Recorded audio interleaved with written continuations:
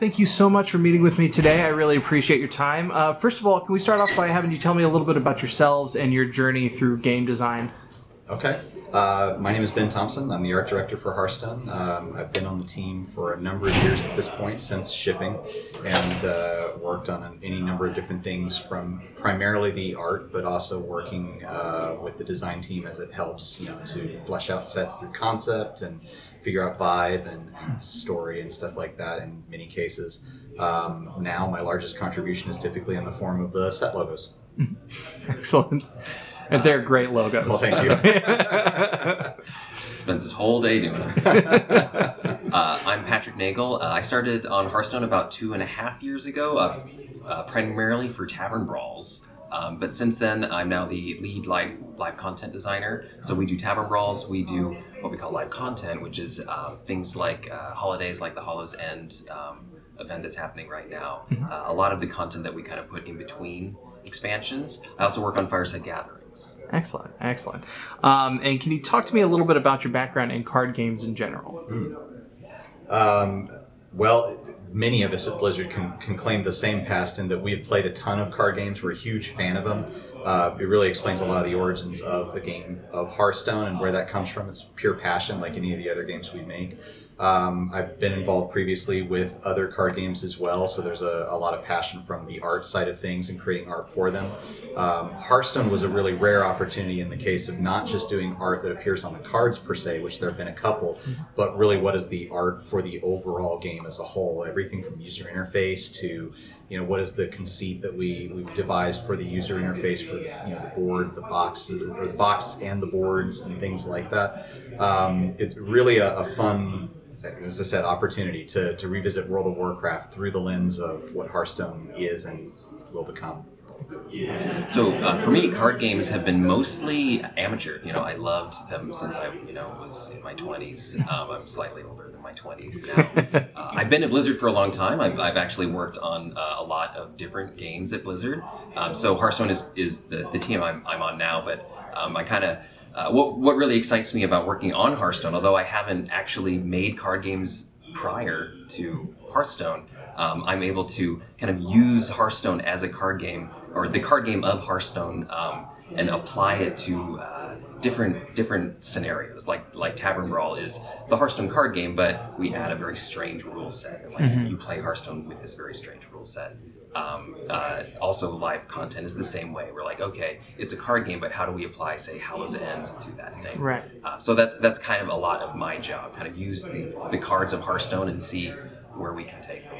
Excellent. Um, speaking of uh, kind of the weird twist on uh, Hearthstone compared to other card games, um, Hearthstone is kind of unique in its ability to uh, tap into various RNG mechanics through things like Discover, things like Evolve. Um, uh, what is that process like, balancing these these really interesting new mechanics um, with the built-in RNG of card draw and, and uh, shuffling decks and, and whatnot?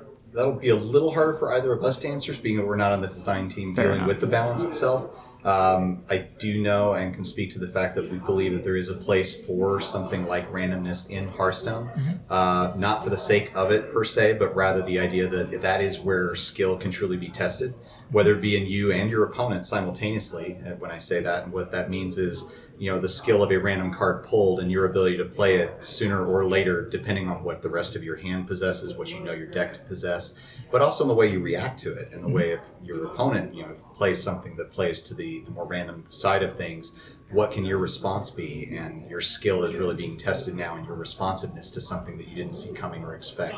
Uh, both of those things are super valid when it comes to randomness determining and really helping to define the skill of either or both players I think uh, the the discover mechanic is is a, a very clear case of that as well. So you know you have these three random cards, but you have to decide which one. So that is where you know your your skill in uh, like looking at your situation and picking the very best random card uh, comes into play. Excellent. Um, so, uh, having a basis in art design, I want to talk to you a little bit about the aesthetic.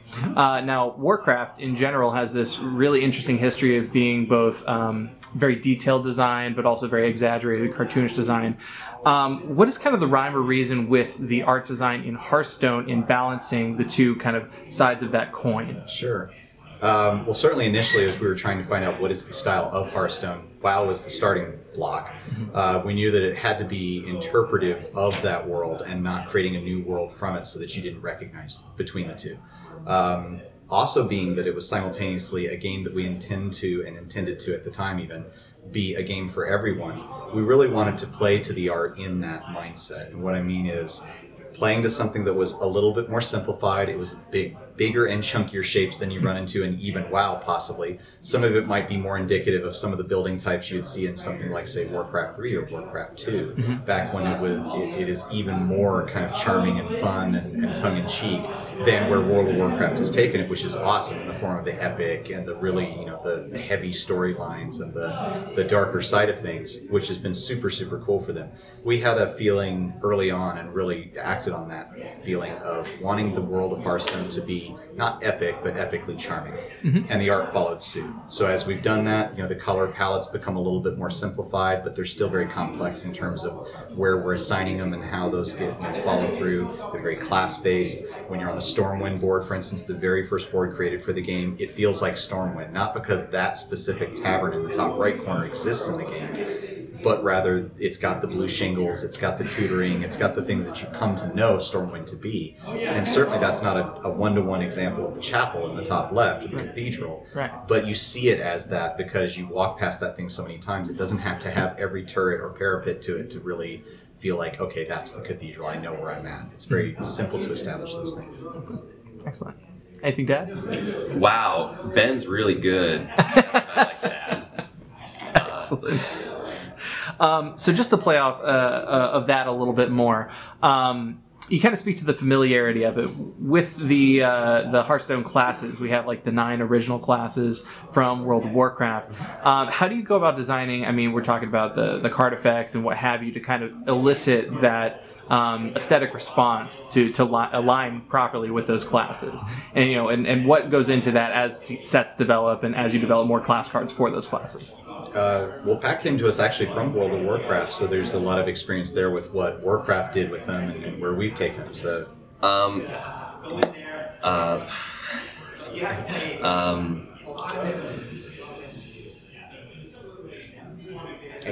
I mean, I can definitely speak to the idea that they, they do have to be class based, right? You mm-hmm. have to always know are you looking at a priest spell, are you looking at a warlock spell, are you looking at you know, a warrior?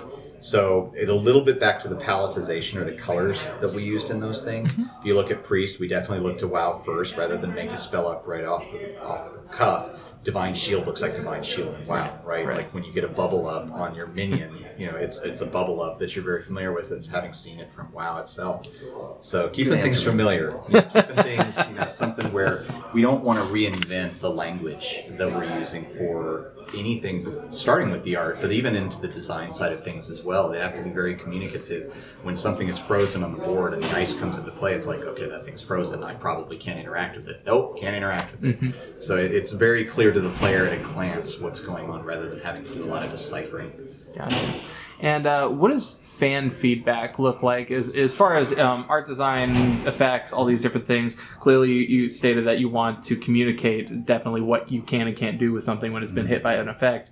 Um, but you know, does fan feedback kind of factor into that design going forward, or how you may adjust certain effects uh, here and there? Um, I mean, it has for sure. Uh, we've definitely we've gotten a lot of feedback from wow, this feels super familiar. I, I came to this game from World of Warcraft, and I feel very you know similar effects going off. I see a lot of similar palettes. I see a lot of shapes that I'm very familiar with. Simultaneously, we've had even more people coming to Hearthstone with no knowledge of World of Warcraft whatsoever, um, and there there doesn't seem to be a, any loss in terms of experience there. Uh, they're equally excited and equally um, you know really inspired by the game itself, it, if for totally different reasons. Um, making sure that we never play too much to one or the other audience, I think, is an important precept that we want to uphold on the game. And what I mean by that is like the inside jokes can exist. Uh, you know, the fact that playing Malfurion elicits the "Hello, brother," you know, from Illidan is cool if you play World of Warcraft and you get it. But if you don't, and the Hearthstone's your first game, it's like, oh, okay. Wonder why he said that. It's, it's kind of cool. It doesn't break my experience, but if it inspires me to look that up and realize, oh my gosh, that's super cool. I love that they did that. then that's that's a better story still. So things like that. Yeah, a lot of the cards too. You know, if you knew nothing about World of Warcraft, you know, a dragon whelp feels like a dragon whelp. You know, but if you have played it, then you, you remember like oh, when I was in Redridge, that's what I fought. You know, when I was level you know seventeen or whatever. Um, it kind of uh, what Ben is saying. You know, we want to make it so that you know you don't need to know any of this stuff, but it will it will you'll get a deeper understanding or a deeper appreciation for um, Hearthstone. You know, if, the more you know about World of Warcraft. Excellent. Um, so I want to talk a little bit about the uh, cinematic that was recently released. Um, so it was very different from Just anything we're short? yeah the Yeah. animated short for for Hearthstone that uh, is very very different than anything we've ever really experienced from Blizzard before. Um, can you talk to me a little bit about the process of making that, uh, what the feedback's been like, and what you'd like to do going forward with similar projects? Hearth and Home was something that was very special to us. We worked on it for some time with the cinematic team, um, weekly in many cases, looking at everything as it came from storyboards. The character creation was something we spent a lot of time on. Uh, there's a number of different reasons why this is, is very important to us as a project. Um, none, you know, less than, or none more than, I should say, uh, the idea that this cinematic really focuses on, or I should just say animated short, because it's not really even promoting one specific, you know, production piece of the game, but rather the idea that what is the world of Azeroth through the eyes of a Hearthstone player? We've always had the conceit that Hearthstone is a game played in the world of Warcraft, in Azeroth, by the denizens of Azeroth. Mm-hmm. This is the first time we actually got to see them in kind and really start to ascribe names, races, faces, you know, to these people. Mm-hmm. And the idea that there are people in Azeroth as excited as we are about each set that releases, or each card, or each meta, or each deck type, is kind of a cool idea. It's a cool mm-hmm. fantasy. Um, it also will carry forward into future ones, which we are planning to do uh, a series of smaller. They'll be shorter than the initial one for sure, but no less interesting in that we get to know these characters on an individual basis and understand uh, their their ideas and their thoughts about the game through their eyes. Um, it's stories we're really looking forward to telling. It's stories that we think that players will start to see a little bit of themselves in and their friends in and their experiences through. Excellent. Uh, so one of the uh, what I really like about the short is that it, it really speaks to one of the core narratives of Hearthstone, in that you know this is this game that almost anyone in Azeroth you know plays after a long day of you know either adventuring or fighting adventures. You know, a place where they can come and and play this thing, and it doesn't matter. Honestly, faction isn't as important, and you know you are in this tavern, and you are you're competing. You know there there are fights going on, but at the end of the day, you know you are all a part of this same community. And I mean, as you watch this this short over and over, it's it's this emotion that kind of builds up. Um, and I, I think uh, I think um, that's what really sings to me when I watch it. Honestly, I get watch it all the time, every day. It's a great short. Honestly, I, I was so pleasantly surprised by it. I was uh, really flabbergasted. Um, so uh, I'm going to switch this up a little bit. I want to kind of stay away from the mechanic stuff if we don't want to uh, talk about that. But or is that what you were hoping to talk oh no, about? I mean, uh, I'm not much of a mechanics guy, more of a content. You Sure. know, um, you know things like Fireside Gatherings, Tavern Brawls. Yeah, fair enough. You know, So- talk about Catapult. No, actually, so this is where I was going with this next question. Actually, so tavern brawls. Uh, we have a lot of these really cool, fun, interesting uh, new ways to play uh, Hearthstone on a on a weekly basis. Mm-hmm. Um, what is that process like? Coming up with the like the, the these insane, sometimes like really overpowered kind of matchups, Right. And what what goes into that? I think the biggest rule we have when making tavern brawls is to try to surprise players so they don't, you know, we don't want them to know or expect what's coming next. Um, so we will have some that are, yeah, very over the top. We have, we might have some that are just like one small tweak. Um, we also we're, we're making these, you know, week after week. Um, so uh, we want a variety of. Um, complexities too. We're actually we target we want to target the different types of players uh, for Hearthstone. So we will make ones that are like really really hardcore deck building ones. Uh, we'll make some that are very light deck building ones, like uh, yeah, the top two. You know, it's a deck building brawl. I don't know if you're familiar with that one, but it's you you make a deck of two cards, Oh, and then you make okay. the Yeah, deck yeah. you know fills up. You get 15 copies of each. So it's it's deck building. So it can be you know you might think that it's you know for more hardcore players, but it's really easy to make you know a two card deck. Um, or I'll, we'll just have super casual ones too, like just click the button and we'll give you a character, and we'll give them a character, and like you know just smash it up or smash, you know let each, let each other let them smash each other up. um, so I think that's kind of it. We just want to make sure that when the next week rolls around, you just don't know what you're gonna get. Awesome. Anything to add? No, I think that's uh, right, perfectly put. Um, just a couple fun ones to end here. What do you think the innkeeper's favorite card or deck is? Oh my gosh, the innkeeper himself. Well, I think the innkeeper himself probably, to speak for Hearth a little bit here, um, will that'll be an ever-changing answer, but he will always like the card that is the most unexpected and is not uh, in any way uh, negative towards his opponent, but rather gets his opponent to try or do something they never thought they would do or expect. Um, and it's you know it's not it's not going to crush him. He's, So, he's so not not patches. What's that? So not no patches. patches. no patches for no no patches for Hearth. I think Hearth is the kind of guy that's like, oh, let's see what you do with this. You know, let's see. I'm going to throw this out and see what you The what you come up curveball card. Yeah. Mhm. I think that's probably his favorite type of stuff. All right. Yeah, I would agree. Anything that's that's anti-control, you know, he's not the guy to just sit there for minutes waiting Fair to enough. just sweat you out. And last question: What is your favorite deck list? My favorite Deck list deck list.